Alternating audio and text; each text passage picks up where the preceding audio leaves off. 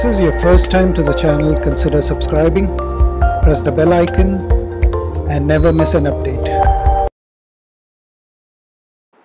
നമസ്കാരം ഫ്രണ്ട്സ് അപ്പോൾ ഇന്ന് ഈ ഒരു വീഡിയോ ചെയ്യാനായിട്ട് ഉള്ള ഒരു മെയിൻ റീസൺ എന്ന് പറയുന്നത് നമ്മൾക്ക് ശരിക്കും ഒരുപാട് റിക്വസ്റ്റ് എന്നും ഡെയിലി വരുന്നുണ്ട് ഈ വീഡിയോയിൽ ഞാൻ പറയാൻ പോകുന്ന കാര്യങ്ങളെക്കുറിച്ച് അപ്പം ശരിക്കും പറഞ്ഞാൽ ഞാൻ അത് ചെയ്യാൻ പറ്റില്ല.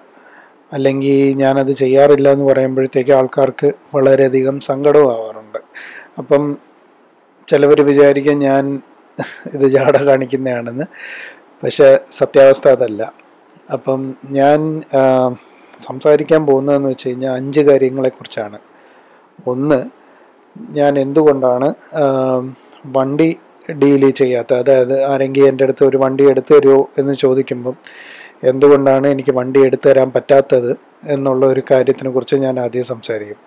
രണ്ടാമത്തെ കാര്യം ഞാൻ സംസാരിക്കാൻ പോകുന്നതെന്ന് വെച്ച് കഴിഞ്ഞാൽ ഞാൻ എന്തുകൊണ്ടാണ് സ്പെയർ പാർട്സിൽ ഡീൽ ചെയ്യാത്തത്? അതാണ് രണ്ടാമത്തെ ഒരു പോയിന്റ് മൂന്നാമത്തെ പോയിന്റ് എന്ന് പറയുന്നത് പുറത്തുനിന്നുള്ള പ്രോജക്ട്സ് അതായത് ചിലവർ എന്നെ ഇപ്പോൾ റീച്ച് ഔട്ട് ചെയ്ത് ചേട്ടാ എന്റെ വണ്ടി റിസ്റ്റോർ ചെയ്ത് തരുമോ? എന്ന് ചോദിക്കുമ്പം തരാൻ പറ്റില്ല എന്നാണ് ഞാൻ പറയുന്നത്. അത് എന്തുകൊണ്ടാണ് പറയുന്നത് എന്നുള്ള കാര്യം ഞാൻ ഈ ഒരു വീഡിയോയിൽ കൂടെ നിങ്ങളെ അറിയിക്കാൻ പോവുകയാണ്. അടുത്തതെന്ന് പറയുന്നത് സ്പെയർസ് എവിടെ കിട്ടും? അപ്പോൾ ആ ഒരു സാധനവും ഞാൻ കൂടുതലും പറഞ്ഞു കൊടുക്കാത്തതിന്റെ കാരണം കൂടെയാണ് ഞാൻ ഇനി പറഞ്ഞു തരാൻ പോകുന്നത് ഈ വീഡിയോ കൂടെ. പിന്നെ ഏറ്റവും അവസാനത്തെ കാര്യം ഞാൻ എന്തുകൊണ്ടാണ് എന്റെ ഫോൺ നമ്പർ ആരുമായിട്ട് ഷെയർ ചെയ്യാത്തത്? അതാണ് ഞാൻ ഇന്നത്തെ വീഡിയോയിൽ കവർ ചെയ്യാൻ പോകുന്ന അഞ്ച് കാര്യങ്ങൾ. അപ്പോൾ നമുക്ക് ആദ്യത്തെ കാര്യം വെച്ച് തുടങ്ങാം. അതായത് എന്തുകൊണ്ടാണ് ഞാൻ വണ്ടി ഡീൽ ചെയ്യാത്ത അല്ലെ വണ്ടി കച്ചവടത്തിനകത്ത് ഇറങ്ങാത്തത്? അപ്പം ശരിക്കും നിങ്ങൾ നോക്കിക്കഴിഞ്ഞ് കഴിഞ്ഞാൽ ഇപ്പോൾ പൈസ ഉണ്ടാക്കലാണ് എന്റെ ആഗ്രഹമെങ്കിൽ എനിക്ക് സത്യം പറഞ്ഞു കഴിഞ്ഞാൽ ഇതിനകത്ത് ഇറങ്ങിത്തിരിക്കാം. എനിക്ക് വേണമെങ്കിൽ വണ്ടി കച്ചവടം ചെയ്യാം. പക്ഷെ ഞാനത് ചെയ്യാത്തതുകൊണ്ട് അതായത് അത് എന്തുകൊണ്ടാണ് ചെയ്യാത്തതെന്നുള്ള കാര്യം മെയിനായിട്ട് ആദ്യം നിങ്ങൾ മനസ്സിലാക്കേണ്ടതെന്ന് പറഞ്ഞു കഴിഞ്ഞാൽ ഇത് ഞാൻ ചെയ്യുന്നത് എനിക്ക് പൈസ കിട്ടുമെന്ന് പറഞ്ഞിട്ടല്ല. ഞാൻ ഈ വണ്ടികളൊക്കെ റീബിൽഡ് ചെയ്യുന്നത് റീസ്റ്റോർ ചെയ്യുന്നത് എന്റെ ഒരു പേഴ്സണൽ പാഷനാണ് അപ്പം ചില ആൾക്കാർക്ക് ഈ പാഷൻ കൊണ്ട് ഇങ്ങനത്തെ കാര്യങ്ങളൊക്കെ ചെയ്യുന്നത് എന്തുകൊണ്ടാണെന്ന് മനസ്സിലാക്കാൻ പറ്റില്ല.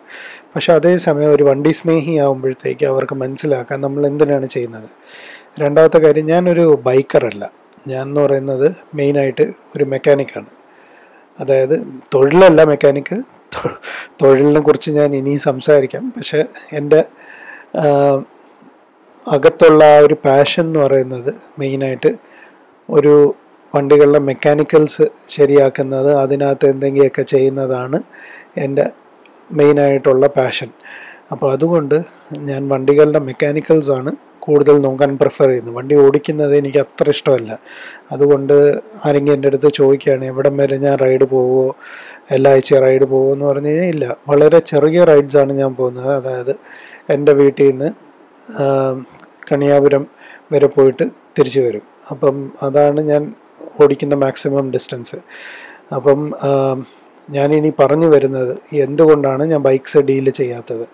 അപ്പോൾ ഒന്നാമത്തെ കാര്യം എന്ന് പറയുന്നത് കേരളം പ്രത്യേകിച്ച് കേരളത്തിൽ വണ്ടികൾക്ക് ഒരു പഞ്ഞുമില്ല അതായത് നമ്മൾ എൽ എക്സ് എടുത്ത് നോക്കിക്കഴിഞ്ഞാൽ ജസ്റ്റ് ഒരു യമഹ ആർ എക്സ് അല്ലെങ്കിൽ യമഹ ആർ എക്സ് സെഡ് അല്ലെങ്കിൽ യമഹ ആർ ഡി എന്ന് പറഞ്ഞ് സെർച്ച് ചെയ്യുമ്പോൾ തന്നെ നമുക്ക് ഒരുപാട് ഓപ്ഷൻസ് കാണാം.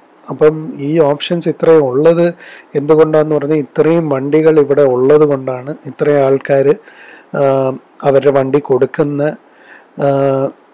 കൊണ്ടാണ് ഇത്രയും പരസ്യങ്ങളുള്ളത്. അപ്പം പക്ഷെ നമ്മൾ നോക്കുമ്പോഴത്തേക്ക് ഈ വണ്ടികൾക്ക് പുറത്തുള്ള നാട്ടിൽ നിന്ന് എടുക്കുന്ന വണ്ടികളെ കാട്ടി അത്യാവശ്യം വില കൂടുതലാണ്. ഇപ്പം ഒരു ചെറിയ ഒരു- ഉദാഹരണം പറഞ്ഞു കഴിഞ്ഞാൽ ഒരു ആർ എക്സ് സെഡ് ചിലപ്പം ഔട്ട് സ്റ്റേഷനിൽ ഒരു നാൽപ്പത് അമ്പതിനായിരം രൂപയ്ക്ക് കിട്ടുകയാണെങ്കിൽ അതേ സാധനം ഇവിടെ കേരള രജിസ്റ്റർ ചെയ്ത് വരുമ്പോഴത്തേക്ക് ആൾക്കാർ വിൽക്കുന്നത് ഒരു ലക്ഷം ഒന്നേകാൽ ലക്ഷം രൂപയ്ക്കാണ്. അപ്പം ഇതിനകത്ത് ഒരു ശരിക്കുള്ള ഒരു കാരണമുണ്ട്. അപ്പോൾ ആ കാരണം നിങ്ങൾ ആദ്യം മനസ്സിലാക്കണം.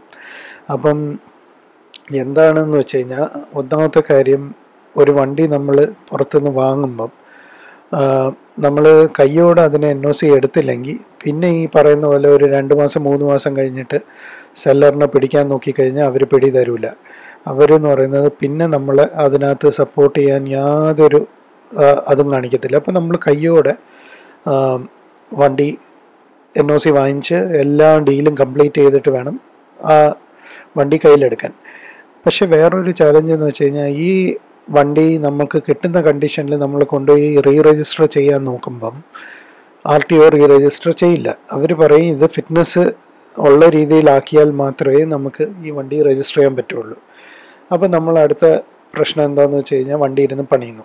അപ്പം ഇതിന്റെ ഇനി ഞാൻ പറയാൻ പോകുന്ന രണ്ടാമത്തെ പോയിന്റ് അതായത് ഞാൻ എന്തുകൊണ്ടാണ് സ്പെയർസിൽ ഡീൽ ചെയ്യാത്തതെന്നുള്ള പോയിന്റാണ് ഇനി വരാൻ പോകുന്നത്. ഒന്നാമത്തെ കാര്യം എന്ന് പറയുന്നത് ഈ വണ്ടിക്ക് സ്പെയർ ഒറിജിനൽ കിട്ടത്തേ ഇല്ല നമ്മൾ പണ്ട് ഈ വണ്ടിക്ക് സ്പെയർ കിട്ടിക്കൊണ്ടിരുന്നപ്പം പകുതി വിലയെ കാട്ടി പകുതി വിലയ്ക്ക് പോലും കിട്ടിയ വാങ്ങാത്ത കുറേ സ്പെയർസ് ഉണ്ട്. അതാണ് ഇന്നത്തെ വണ്ടിയിൽ മാക്സിമം ആൾക്കാർ യൂസ് ചെയ്യുന്നതും അതാണ് ഈ വണ്ടികളിൽ ഫിക്സ് ചെയ്ത് ഇറക്കി വിടുന്നത് വണ്ടി. അപ്പോൾ അതുകൊണ്ട് നിങ്ങൾ ആദ്യം മനസ്സിലാക്കേണ്ട കാര്യം എന്ന് വെച്ച് കഴിഞ്ഞാൽ സ്പെയർ എന്ന് പറയുന്നത് വലിയ പ്രശ്നമാണ്. ഇപ്പോൾ ഒരു ചെറിയൊരു സാധനത്തിന് വേണ്ടി വണ്ടി ചിലപ്പം ഒരു രണ്ട് മൂന്ന് മാസം കിടന്നു അപ്പോൾ ആ ഒരു സമയത്ത് എങ്ങനെയാണെന്ന് വെച്ചാൽ ആദ്യത്തെ ഒരു മാസം കഴിഞ്ഞ് കഴിഞ്ഞാൽ പിന്നെ നമ്മളുടെ എൻ ഒ സിയും കൊണ്ട് ആർ ടി ഒയിൽ ചെല്ലുകയാണെങ്കിൽ ഫൈനുണ്ട് ആ എൻ ഒ സി ആറ് മാസത്തേക്ക് വാലിഡ് ആണ്. അപ്പോൾ ഈ ആറ് മാസത്തിനുള്ളിൽ നമുക്ക് വണ്ടി പണിഞ്ഞെടുക്കാൻ പറ്റിയില്ലെങ്കിൽ വീണ്ടും അടുത്ത എൻ ഒ സി അപ്ലൈ ചെയ്യണം. അതെന്ന് പറഞ്ഞാൽ ആദ്യത്തെ എൻ ഒ സി അപ്ലൈ ചെയ്യുന്നതിനെക്കാട്ടി വലിയ തലവേദനയാണ്. അപ്പം വെറുതെ തലവേദന പിടിക്കാതിരിക്കാൻ വേണ്ടിയാണ് ഞാൻ മെയിനായിട്ട് വണ്ടി കച്ചവടം ചെയ്യാത്തത്. എന്നുവെച്ചാൽ ഞാനിപ്പം എനിക്ക് വേണ്ടി വണ്ടി വാങ്ങിയത് ചിലപ്പോൾ എന്റെ ഒരു ഫ്രണ്ട്സിന്റെ കണക്ഷൻസ് ഒക്കെ വെച്ചിട്ടാണ്. പക്ഷേ വേറൊരാൾക്ക് വേണ്ടി ആ വണ്ടി വാങ്ങുമ്പോഴത്തേക്ക് എനിക്ക് ഞാൻ ഇപ്പോൾ എന്റെ ഫ്രണ്ടിനെ ഏത് രീതിയിൽ ഇതിനകത്ത് ഇൻവോൾവ് ആവാൻ പറഞ്ഞതോ ഏത് രീതിയിലാണ് അവനെ ഞാൻ ശല്യം ചെയ്തിട്ടുള്ളതോ ആ ഒരു ലെവലിൽ എനിക്ക് നിങ്ങൾക്ക് വേണ്ടി അത് ചെയ്യാൻ പറ്റില്ല. അത് നിങ്ങൾക്ക് അത് മനസ്സിലാക്കേണ്ട കാര്യമാണ്. എനിക്ക് അതുകൊണ്ട് ഈ ഒരു മേഖലയിൽ ഇറങ്ങാൻ താല്പര്യമില്ല. പിന്നെ ഞാൻ ചെയ്യാറുള്ള എന്താണെന്ന് വെച്ച് കഴിഞ്ഞാൽ എല്ലാം ഒരു ഒരു വർഷവും ഞാൻ ഒരു വണ്ടി വാങ്ങും. അതായത് മിക്കവാറും വാങ്ങുന്നത് ഷോഗണായിരിക്കും വാങ്ങിച്ചിട്ട് ഞാൻ ആ വണ്ടി പണിയും. പണിയുന്നത് ഏകദേശം ഒരു നമ്മളുടെ ഏറ്റവും നല്ല പാർട്സ് വെച്ചിട്ട് ഫാക്ടറി ഫിനിഷിന്റെ ആ ഒരു ലെവലിലാണ് ഞാൻ ആ വണ്ടി പണിയുന്നത്. പണിഞ്ഞു കഴിഞ്ഞിട്ട് ആ വണ്ടി പണിഞ്ഞ് തീരുന്നതിന് മുമ്പേ തന്നെ ആൾക്കാർ അതായത് എന്റെ ഫ്രണ്ട് സർക്കിളിലുള്ള ആൾക്കാർ അത് ചോദിച്ചു തുടങ്ങും. ഞാൻ ആ വണ്ടി പണിഞ്ഞ് കഴിഞ്ഞിട്ട് മിക്കവാറും അങ്ങ് കൊടുക്കും. അതാണ് സാധാരണ രീതിയിൽ എല്ലാ വർഷവും ചെയ്യുന്നത്. ഈ വർഷം എനിക്കൊരു ഷോഗൺ വാങ്ങാൻ പറ്റിയിട്ടില്ല. അപ്പോൾ കാരണം എന്താണെന്ന് വെച്ചാൽ വേറെ പ്രോജക്ട്സ് ഉണ്ടായിരുന്നു അതുകൊണ്ട് ഞാൻ ചെയ്തിട്ടില്ല. അപ്പോൾ ഈ ഒരൊറ്റ കാര്യം മാത്രമേ ഞാൻ എല്ലാ വർഷവും ചെയ്യാറുള്ളൂ. അത് ഞാൻ നിങ്ങളെ അറിയിക്കുകയാണ്. പക്ഷേ ഉള്ള ഒരു കാര്യം എന്ന് വെച്ച് കഴിഞ്ഞാൽ ആ, വണ്ടി നിങ്ങൾക്ക് വാങ്ങാൻ പറ്റുമോ എന്നുള്ള കാര്യത്തിൽ എനിക്ക് ഉറപ്പ് തരാൻ പറ്റില്ല. അതൊന്ന്. ഇനി അടുത്തത് നമ്മൾ ചെറുതായിട്ട് ഡിസ്കസ് ചെയ്തെങ്കിലും സ്പെയർസ് എന്തുകൊണ്ടാണ് ഞാൻ ഡീൽ ചെയ്യാത്തത്? പണ്ട് നമുക്ക് ഈ പറഞ്ഞ പോലെ ഒറിജിനൽ സാധനം കിട്ടും. അതായത് നമുക്ക് ഇവിടെ യമഹയുടെ സ്പെയർ കിട്ടുന്ന ട്രാൻഡത്ത് കുറച്ച് സ്ഥലങ്ങളുണ്ട്. അവിടെയൊക്കെ പോയി കഴിഞ്ഞാൽ ഹൺഡ്രഡ് പെർസെന്റ് ഒറിജിനൽ സാധനം കിട്ടുമായിരുന്നു. പക്ഷേ ഇപ്പോൾ അങ്ങനെയല്ല. ഇപ്പോൾ അവിടെ ഇരിക്കുന്ന ഒരു തൊണ്ണൂറ്റെട്ട് തൊണ്ണൂറ്റൊമ്പത് ശതമാനം സ്പെയർസും ഡൽഹിയിൽ നിന്ന് വരുന്ന ഡ്യൂപ്ലിക്കേറ്റ് സാധനമാണ്. യമഹയുടെ പാക്കിങ്ങിലായിരിക്കും വരുന്നത് പക്ഷേ യമഹ അല്ല. അതായത് ഞാനിപ്പം പേര് ഒരൊറ്റ അതിന്റെയും പേരെടുത്ത് പറയുന്നില്ല. പക്ഷേ ഞാൻ ഒരുപാട് ഡ്യൂപ്ലിക്കേറ്റ് സ്പെയർസ് യമഹ പാക്കിങ്ങിനകത്ത് വാങ്ങിയ ചരിത്രമുണ്ട്. അതും ഈ പറയുന്ന പോലെ യമഹയുടെ ഒറിജിനൽ സ്പെയർസ് മാത്രം കിട്ടിക്കൊണ്ടിരുന്ന കുറേ കടകളിൽ നിന്നാണ്. അപ്പം ആ ഒരു സംഭവം നിങ്ങൾ മനസ്സിലാക്കണം. ഇപ്പോഴത്തെ കാലത്ത് നമുക്ക് വിശ്വസിച്ച് വാങ്ങാൻ പറ്റാത്ത അവസ്ഥയാണ് നമുക്ക് ഒറിജിനൽ സ്പെയർസ് കിട്ടാറില്ല. അതുകൊണ്ട് ഞാനിപ്പം നിങ്ങൾക്ക് ഏതെങ്കിലും ഒരു സ്പെയർ ഇട്ട് എടുത്തു കൊടുത്തിട്ട് അത് നാശമായി കഴിഞ്ഞ് കഴിഞ്ഞാൽ അതിനകത്ത് വെറുതെ നമ്മളുടെ പേര് പോകുന്ന കാര്യമാണ്. അതുകൊണ്ട് ആ പരിപാടി ഞാൻ ചെയ്യാറില്ല. ഇപ്പം നിങ്ങളെല്ലാവരും വിചാരിക്കായിരിക്കും എന്തുകൊണ്ട് ഒരാൾ സ്പെയർ വിൽക്കുന്ന ഒരാളെ കണക്ട് ചെയ്ത് തന്നൂടാ? സത്യം പറഞ്ഞു കഴിഞ്ഞാൽ അത് ചെയ്യാത്തത് ഈ ഒറ്റ കാരണം കൊണ്ടാണ്. ഇപ്പം ഇന്നത്തെ ദിവസം തന്നെ ഞാൻ ഫേസ്ബുക്കിൽ കയറിയപ്പോഴത്തേക്ക് ഞാൻ സ്ഥിരം സ്പെയർ വാങ്ങുന്ന ഒരുത്തനെ വേറെ ഒരുത്തൻ ഫേസ്ബുക്കിൽ ഫ്രോഡാണെന്ന് പറഞ്ഞിട്ട് വലിയ ഡിസ്കഷൻ നടന്നുകൊണ്ടിരിക്കുക. അതായത് കുറേ ആൾക്കാർ അവനെ സപ്പോർട്ട് ചെയ്യുന്നു കുറേ ആൾക്കാർ അവനെ തെറി വിളിക്കുന്നു. അപ്പം ഈ ഒരു രീതിയിൽ നമ്മളുടെ പേര് വെച്ചിട്ട് ഒരു തെറി വിളി ഒഴിവാക്കാൻ വേണ്ടിയാണ് ഞാൻ സത്യം പറഞ്ഞാൽ ഇത് ഈ പരിപാടി ചെയ്യാത്തത്. അതൊന്ന്. രണ്ടാമത്തെ കാര്യം എന്റെ വീട്ടിന്റെ ഏറ്റവും അടുത്തുള്ള ഒരു സ്പെയർ പാർട്ട് കട എന്ന് പറയുന്നത് ഏകദേശം പത്ത് കിലോമീറ്റർ ദൂരെയാണ് വീട്ടിൽ നിന്ന്. അപ്പോൾ പത്ത് കിലോമീറ്റർ പോയി പത്ത് കിലോമീറ്റർ വരിക എന്ന് പറഞ്ഞു കഴിഞ്ഞാൽ അത് തന്നെ ഒരു ഇരുപത് കിലോമീറ്ററായി അവിടെ പോയി കഴിഞ്ഞാൽ എല്ലാ സാധനവും കിട്ടത്തില്ല. അപ്പോൾ മിക്കവാറും എനിക്ക് പോകേണ്ടത് അടുത്ത സ്ഥലത്താണ്. അപ്പം യാത്ര ഒരു വലിയ ശല്യമാണ്. പിന്നെ അത് കഴിഞ്ഞിട്ട് സമയം.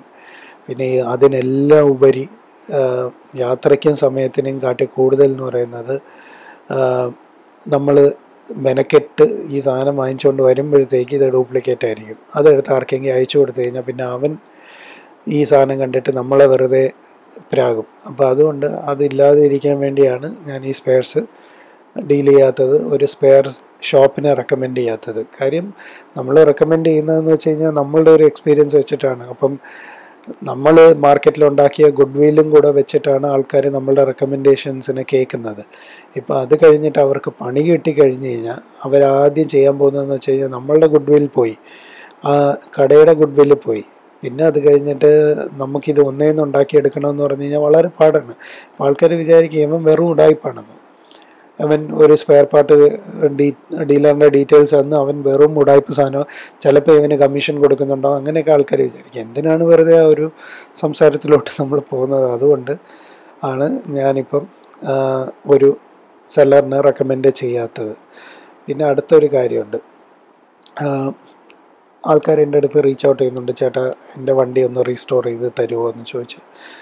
അപ്പം അത് എന്തുകൊണ്ടാണ് ചെയ്തു തരാത്തതെന്നുള്ള കാര്യമാണ് ഇനി ഞാനിപ്പോൾ പറയാൻ പോകുന്നത്.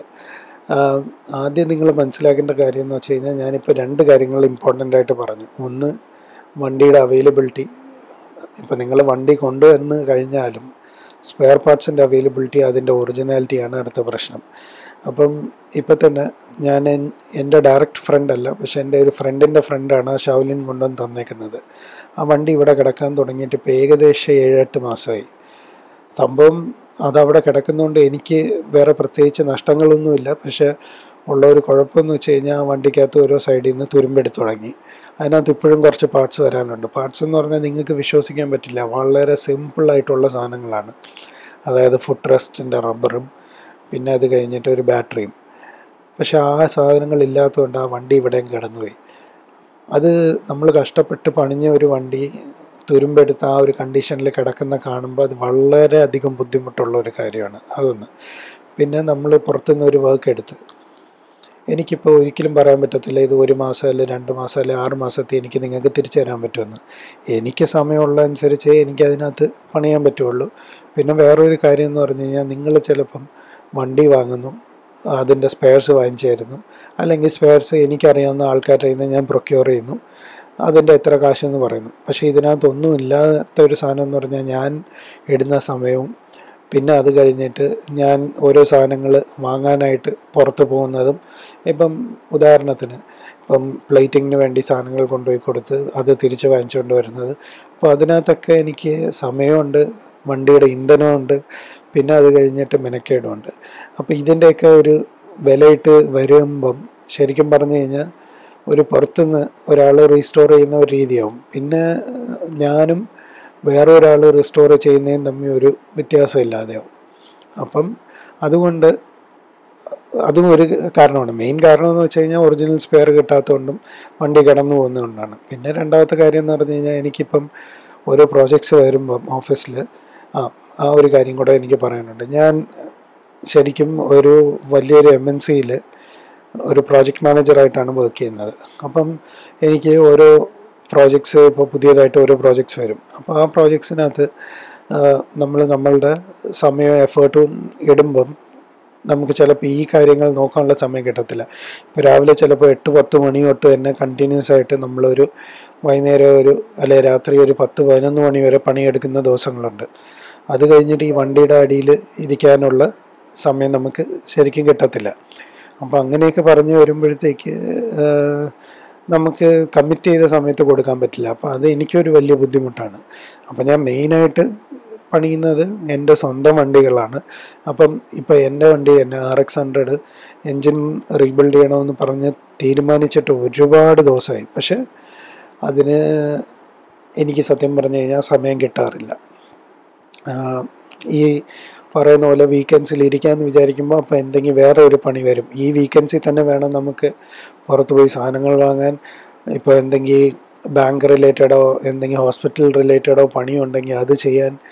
അപ്പോൾ ഈ എല്ലാ കാര്യങ്ങളും കിട്ടുന്ന ഒരു ദിവസം എന്ന് പറയുന്നത് സാറ്റർഡേ ആണ്. പിന്നെ ആകെയുള്ള സൺഡേ സൺഡേ നമുക്ക് രാവിലെ തൊട്ട് രാത്രി വരെ ഇതിന്റെ അടിയിൽ ഇരിക്കാൻ പറ്റില്ല. കാരണം സൺഡേ മിക്കവാറും ഒക്കെ വീട്ടിന്റെ എന്തെങ്കിലും ക്ലീനിങ്ങോ എന്തെങ്കിലും ചെറിയ മെയിന്റനൻസോ ഉണ്ടാവും.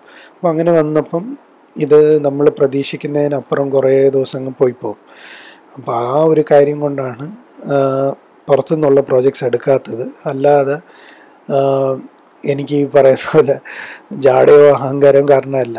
ആൾക്കാർ ശരിക്കും കുറേ ആൾക്കാർ വിചാരിച്ചേക്കുന്നത് അതാണ്. പക്ഷെ അതല്ല സത്യാവസ്ഥ.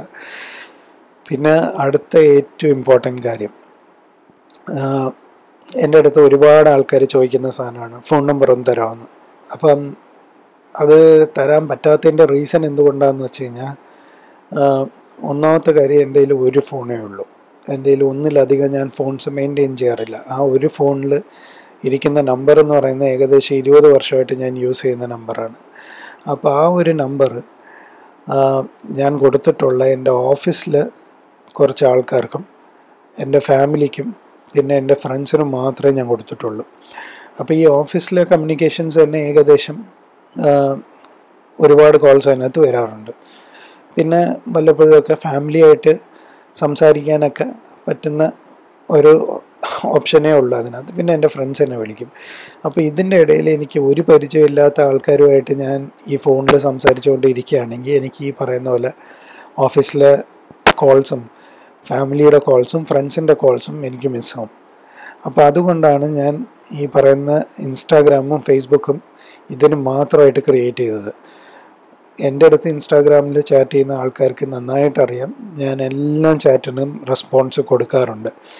പിന്നെ മാത്രമല്ല അവർ ചോദിക്കുന്ന ഏത് ചോദ്യത്തിനും എനിക്കറിയാവുന്ന രീതിയിൽ ഞാൻ മറുപടി കൊടുക്കാറുണ്ട്.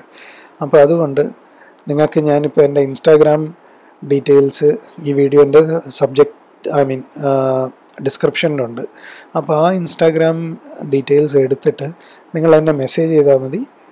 നിങ്ങൾക്കുള്ള സംശയങ്ങൾ എനിക്ക് തീർക്കാൻ പറ്റുന്ന രീതിയിൽ ഞാൻ തീർത്തുതരാം അപ്പം ഞാൻ പറഞ്ഞു വരുന്നതെന്ന് വെച്ച് കഴിഞ്ഞാൽ ഈ അഞ്ച് കാര്യങ്ങളാണ് സത്യം പറഞ്ഞു കഴിഞ്ഞാൽ എനിക്ക് പീസ്ഫുള്ളായിട്ട് എനിക്കിഷ്ടമുള്ള എന്റെ പാഷൻ പേഴ്സ്യൂ ചെയ്യാൻ സമ്മതിക്കുന്നത്. അപ്പോൾ ഈ അഞ്ച് കാര്യങ്ങളിൽ ഏതെങ്കിലും ഒരു കാര്യം ഞാൻ തെറ്റിച്ച് ചെയ്ത് കഴിഞ്ഞ് കഴിഞ്ഞാൽ ഈ ഒരു പാഷൻ പാഷൻ അല്ലാതെ ഒരു തൊഴിലായി മാറും. ഒരു തൊഴിലായി മാറുമ്പോഴത്തേക്ക് നമുക്ക് പതുക്കെ അതിനകത്തുള്ള ഇൻട്രസ്റ്റ് പോകും. ഇൻട്രസ്റ്റ് പോകുമ്പോഴത്തേക്ക് പിന്നെ നമുക്കത് ചെയ്യാൻ തോന്നില്ല അപ്പോൾ ഇതിനെ ഞാൻ ഒരു പാഷനായിട്ട് നിലനിർത്തുന്നത് ഞാൻ ഈ അഞ്ച് റൂൾസ് ഫോളോ ചെയ്യുന്നതുകൊണ്ടാണ്. അഞ്ച് റൂൾസ് ഞാൻ ഒന്നുകൂടെ പറഞ്ഞുതരാം. അതായത് എനിക്ക് വണ്ടി കച്ചവടം ഇല്ല. ഒന്ന്. രണ്ടാമത്തെ കാര്യം എന്ന് പറയുന്നത് ഞാൻ സ്പെയർ പാർട്സ് ഡീൽ ചെയ്യാറില്ല.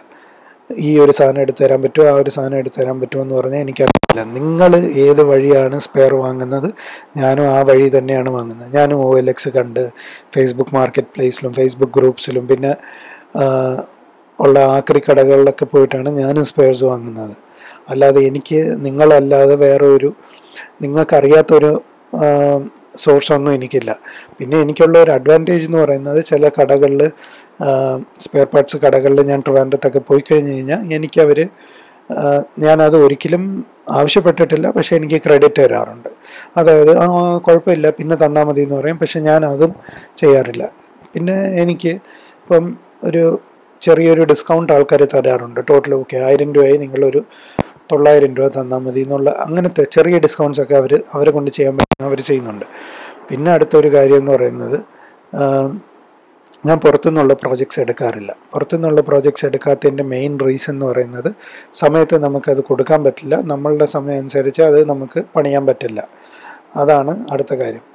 പിന്നെ ഞാനൊരു സെല്ലറിനെയോ ഒരു കടയോ ഞാൻ റെക്കമെൻഡ് ചെയ്യില്ല. കാര്യം എന്താണെന്ന് വെച്ച് കഴിഞ്ഞാൽ ഇന്നത്തെ വരുന്ന സ്പെയർസിന്റെ ക്വാളിറ്റിയും അവർ നിങ്ങൾക്ക് സമയത്ത് ആ സാധനം അയച്ചു തരുമോ എന്നുള്ള കാര്യം ഉറപ്പുവരുത്താൻ എനിക്ക് പറ്റില്ല. എനിക്ക് അതിന്റെ പുറകെ നടക്കാൻ സമയമില്ല. അതുകൊണ്ട് ഞാൻ അങ്ങനത്തെ ഒരാളെ ഞാൻ നിങ്ങൾക്ക് പരിചയപ്പെടുത്തി തരാൻ മാക്സിമം ഉദ്ദേശിക്കുന്നില്ല. പിന്നെ അടുത്ത ഞാൻ പറഞ്ഞ മെയിൻ കാര്യം ഞാൻ എന്റെ പേഴ്സണൽ നമ്പർ ആരുമായിട്ട് ഷെയർ ചെയ്യാറില്ല. അപ്പം ഇതാണ് എന്റെ ലൈഫിൽ എനിക്ക് ഒരു പീസ്ഫുള്ളായിട്ട് എനിക്കിഷ്ടമുള്ള സാധനം ചെയ്യാൻ എന്നെ അനുവദിക്കുന്ന അഞ്ച് നിയമങ്ങൾ. അപ്പം ഇത് എല്ലാവരും ഞാൻ ആഗ്രഹിച്ച ഞാൻ പറയാൻ ആഗ്രഹിച്ച രീതിയിൽ തന്നെ അത് മനസ്സിലാക്കിയിട്ടുണ്ടാവും എന്ന് ഞാൻ പ്രതീക്ഷിക്കുന്നു.